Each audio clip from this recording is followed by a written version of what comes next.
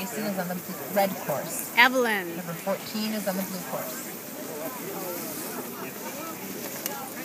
Oh, is that your second run? Yep.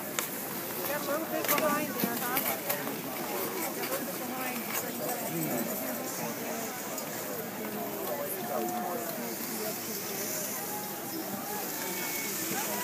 Number 82 finished with a time 26.65. Number 14 finishes with a time of 34.15.